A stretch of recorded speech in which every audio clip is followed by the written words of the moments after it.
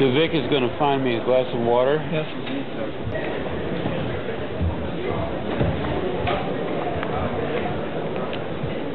I'm going to read this opening sentence. Okay. I don't know if the microphones are on or not.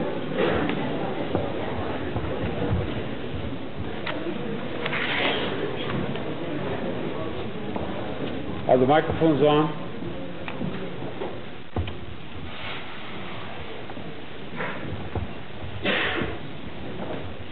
Marcel, you ask if the microphones are on and if they can hear.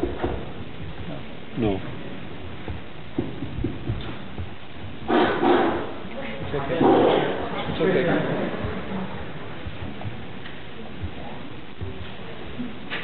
May I tell you how much I appreciate your asking me to share some of my ideas with you? The title of my address is If You Find This World Bad, You Should See Some of the Others. I would like to confess that I've been asked to cut about two thirds of my speech out and deliver as short a speech as possible. Upon examining my speech, I find that it is very easy to remove two thirds without doing any injury to it. I even considered cutting three thirds out of it, but uh, there was some trouble, so I abandoned that idea. The subject of this speech is a topic which has been discovered recently and which may not exist at all. I may be talking about something that does not exist. Therefore, I'm free to say everything or nothing. I can hardly make an error if there is no such thing as orthogonal time. Orthogonal or right angled time is the topic of my speech. We are accustomed to supposing that all change takes place along the linear time axis from past to present to future. The present is an accrual of the past and is different from it. The future will accrue from the present on and be different yet.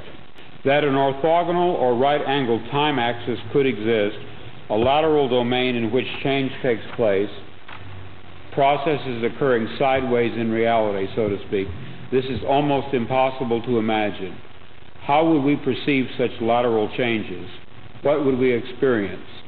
What clues, if we are trying to test out this bizarre theory, should we be on the alert for? In other words, how can change take place outside of linear time at all, in any sense, to any degree? Let me present you with a metaphor. Let us say that there exists this very rich patron of the arts.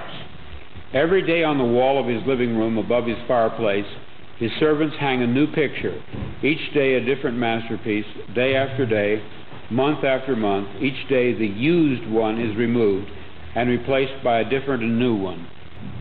I shall call this process change along the linear axis.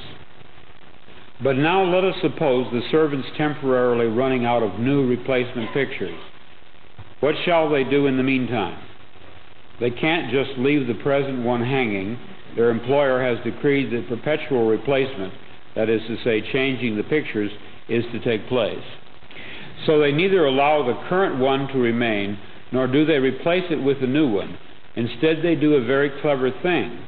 When their employer is not looking, the servants cunningly alter the picture already on the wall.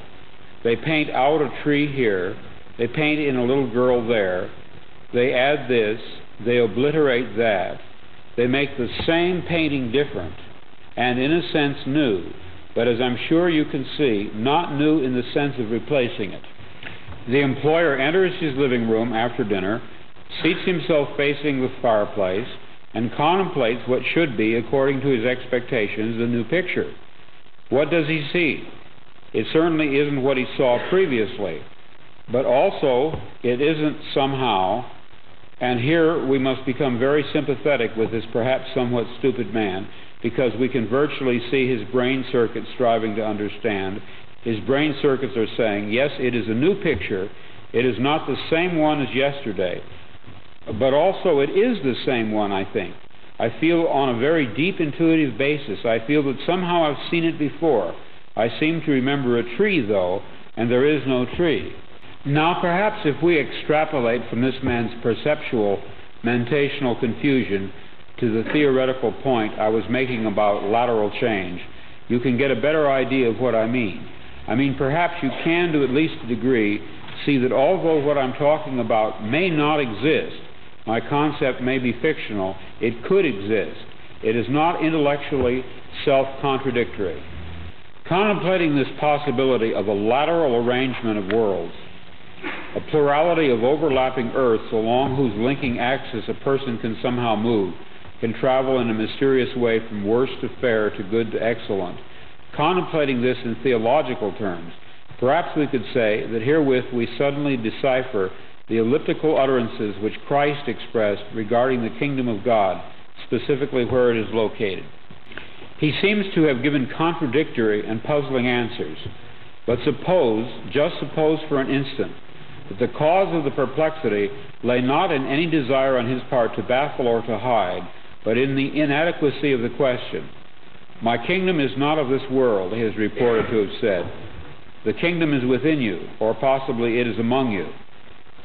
I put before you now the notion, which I personally find exciting, that he may have had in mind that which I speak of as the lateral axis of overlapping realms, which contain among them a spectrum of aspects ranging from the unspeakably malignant to the beautiful. And Christ was saying over and over again that there really are many objective realms, somehow related, and somehow bridgeable by living, not dead men, and that the most wondrous of these worlds was a just kingdom in which either he himself or God himself or both of them ruled. And he did not merely speak of a variety of ways of subjectively viewing one world. The kingdom was and is an actual different place at the opposite end of continua, starting with slavery and utter pain. It was his mission to teach his disciples the secret of crossing along this orthogonal path. He did not merely report what lay there, he taught the method of getting there. But tragically, the secret was lost. The enemy, the Roman authority, crushed it, and so we do not have it. But perhaps we can re-find it, since we know that such a secret exists. The Kingdom is ever to be established here on earth, or whether it is a place or state we go to after death. I'm sure I don't have to tell you that this issue has been a fundamental one and an unresolved one throughout the history of Christianity. Christ and St. Paul both seem to say emphatically that an actual breaking through into time, that is specifically what they say, a breaking through into time, into our world, by the host of God, will unexpectedly occur. Thereupon, after some exciting drama, a thousand year paradise, a rightful kingdom will be established, at least for those who have done their homework and chores and generally paid attention have not gone to sleep, as one parable puts it. We are enjoined repeatedly in the New Testament to be vigilant, that for the Christian it is always day. There is always light by which he can see this event when it comes. See this event. Does that imply that many persons who are somehow asleep or blind or not vigilant, they will not see it even though it occurs? Consider the significance which can be assigned to these notions. The kingdom will come here unexpectedly. This is always stressed. The rightful faithful shall see it, because for them it is always daytime. But for the others, what seems expressed here is the paradoxical but enthralling thought that, and hear this and ponder, the kingdom, were it established here, would not be visible to those outside it.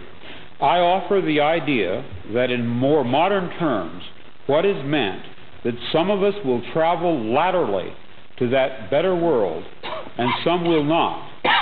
They will remain stuck along the lateral axis, which means that for them the kingdom did not come, not in their alternative world. And yet, meantime, it did come in ours. So it comes, and yet it does not come. Amazing. I'm going to cut down to here. If you have followed my conjectures about the overlapping of these alternate worlds, and you sense as I do the possibility that if there are three or four or two, there may be 30 or 3,000 of them, and that some of us live in this one, others of us in another one, others in others, and that events on one track cannot be perceived by persons not in that track, Well, let me say what I want to say and be done with it. I think I once experienced a track in which the Savior returned, but I experienced it just briefly. I am not there now. I am not sure I ever was. Certainly I may never be again. I grieve for that loss, but loss it is. Somehow I moved laterally, but then fell back, and then it was gone. A vanished mountain and a stream, the sound of bells, and all gone now for me, entirely gone. I, in my stories and novels, often write about counterfeit worlds, semi real worlds, as well as deranged private worlds, inhabited often by just one person, while meantime the other characters either remain in their own worlds throughout or are somehow drawn into one of the peculiar ones. This theme occurs in the corpus of my 27 years of writing. At no time did I have a theoretical or conscious explanation for my preoccupation with these pluriform pseudo worlds, but now I think I understand. What I was sensing was the manifold of partially actualized realities lying tangent to what evidently is the most actualized one, the one which the majority of us, by consensus gentium, agree on. Although originally I presumed that the differences between these worlds was caused entirely by the subjectivity of the various human viewpoints, it did not take me long to open the question as to whether it might not be more than that, that in fact plural realities did exist superimposed onto one another like so many film transparencies. What I still do not grasp, however, is how one reality out of the many becomes actualized in contradistinction to the others.